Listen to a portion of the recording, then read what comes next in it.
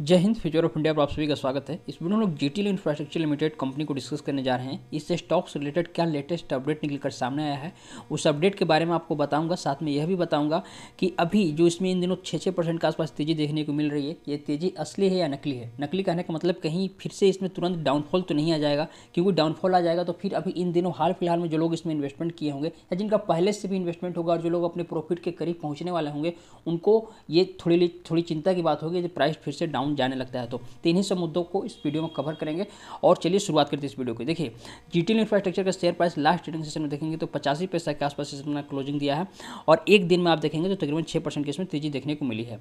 पिछले एक सप्ताह की बात करें, एक सप्ताह में स्टॉक कितना चढ़ा है तो एक सप्ताह में भी तकरीबन सवा छः परसेंट के आसपास स्टॉक चढ़ा है। पिछले एक मंथ में देखेंगे तो एक मंथ में यहाँ पर आपको कुछ मतलब शो नहीं करेगा रिटर्न क्योंकि जहाँ पर इसने एक मंथ पहले अपना शुरू किया था चढ़ना प्राइस वहीं पर इसने मंथ के लास्ट में अपना क्लोजिंग दे दिया है। तो जब प्राइस सेम रहता है शुरुआती और अंत का तो यहाँ पर कोई तेज़ी देखने को नहीं मिलता। है एक दिन में भी ऐसा होता है।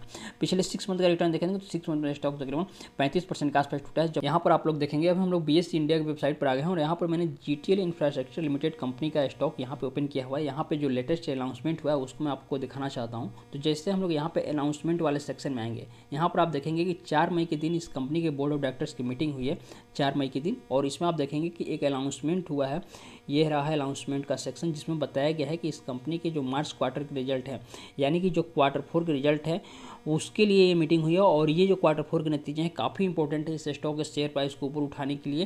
तो ये जो क्वार्टर फोर का नंबर आने वाला है, ये कब आएगा? तो ये पूरा उम्मीद है कि इस जो अभी मई मंथ चल रहा है, मई मंथ के लास्ट में क्वार्टर फोर के रिज़ल्ट आ जाएँगे और क्वार्टर फोर के रिज़ल्ट कैसे आएँगे तो एक्सपेक्टेड है कि अच्छे आएँगे। जैसे यहाँ पर अभी देखिएगा कंपनी के क्वार्टर फोर का रिज़ल्ट मैं आपको दिखाऊँ। तो जो पिछले क्वार्टर में कंपनी के सेल्स हुए थे दिसंबर क्वार्टर यानी कि क्वार्टर थ्री में तो वो तीन करोड़ के आसपास हुए थे और क्वार्टर टू की बात करें तो क्वार्टर टू में भी तीन सौ साठ करोड़ के आसपास हुए थे।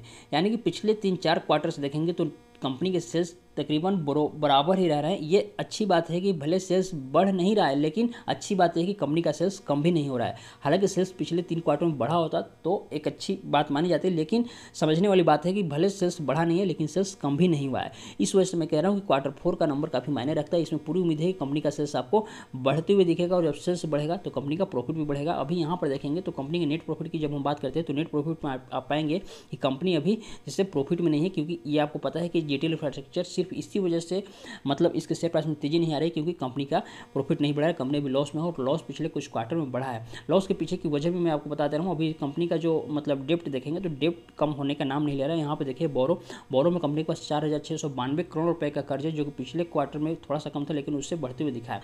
तो अभी जो क्वार्टर फोर का नंबर आएँगे और उसमें इस कंपनी के यदि मतलब जो डेप्ट है, कम होते हुए दिख रहे हैं तो ज़ाहिर सी बात है मतलब सबसे पहले तो प्रॉफिट बढ़ना चाहिए। प्रॉफिट बढ़ेगा तभी कंपनी का डेप्ट कम होगा डेप्ट कम होगा। तो ज़ाहिर सी बात है जीटीएल इंफ्रास्ट्रक्चर के शेयर प्राइस में।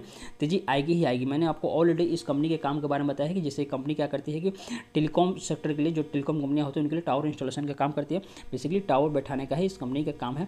और फंडामेंटल के बारे में आपको पता है, थोड़ा सा यहाँ पर मैं हिंट दे देता हूँ। तकरीबन एक हज़ार करोड़ के आसपास की कंपनी फंडामेंटल काफ़ी मतलब मजबूती वाली इसको कंपनी कह सकते हैं, इतनी बड़ी वैल्यूशन की कंपनी है।